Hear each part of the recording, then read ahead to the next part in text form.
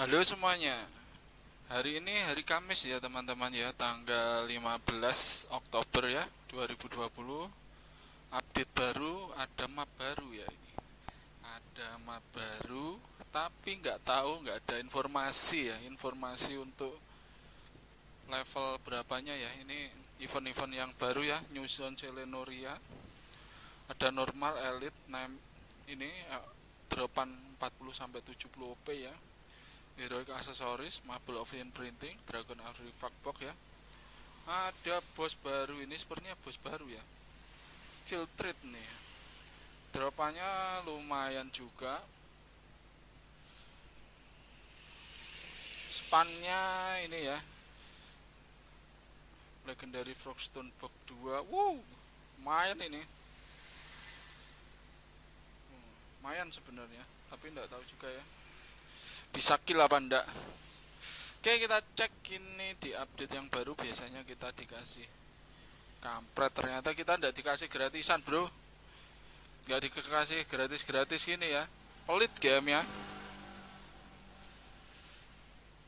Ini 3000 ruby klasik.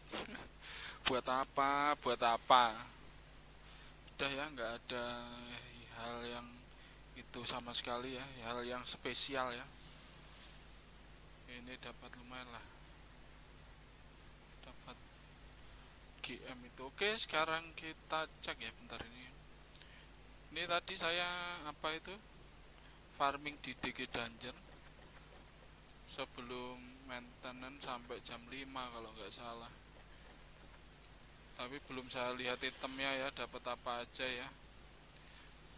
Nanti oh ini lumayan ini. Buat yang push level ya kayaknya ini waktunya kalian push level ya. Saya mau lihat map baru ini. Kuat apa enggak kita di sana? Waduh sepertinya monsternya mengerikan bro.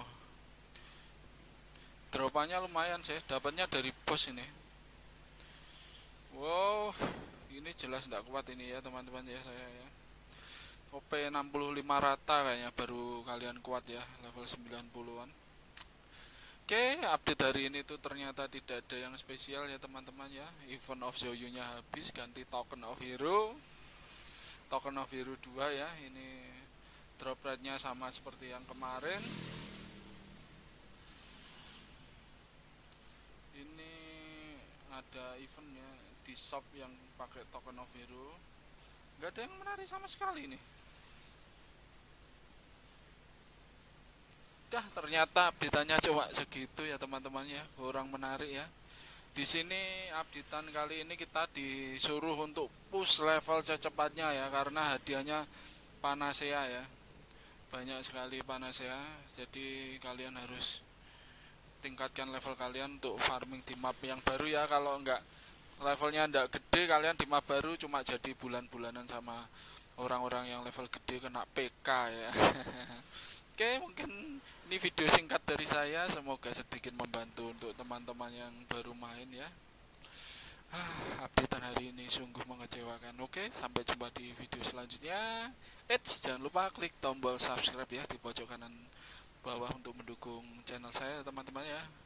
Oke semuanya bye bye